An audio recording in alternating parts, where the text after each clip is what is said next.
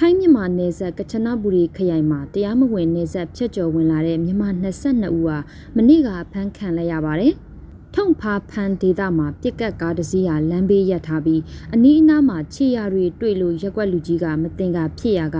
အာနာပိုင်နေနဲ့တွားရောက်စစ်ဆေးချိန်မှာဖမ်းမိခဲ့တာလို့ဆိုပါတယ်။အမျိုးသား18ဦးနဲ့အမျိုးသမီး9ဦးဟာအခြားနေရာတစ်ခုကိုထပ်သွားဖို့စောင့်ဆိုင်းနေချိန်လာခေါ်တဲ့ကားမရောက်လာသေးခင်ဖမ်းခံရတာပါ။ သူတို့ဟာတော်လန်အတိုင်းနေဆက်ဖြတ်ကျော်ဝင်လာလို့မောပန်းနေကြပြီးတရားဝင်အထောက်ထားတွေမရှိကြဘူးလို့ဆိုပါတယ်။အဖမ်းခံရသူတွေဟာတဦးကိုဘတ်13000ကနေ1000ခွဲအထိပွဲစားတွေကိုပေးချေပြီးဖြစ်တယ်လို့ထိုင်းသတင်းတွေကဆိုပါတယ်။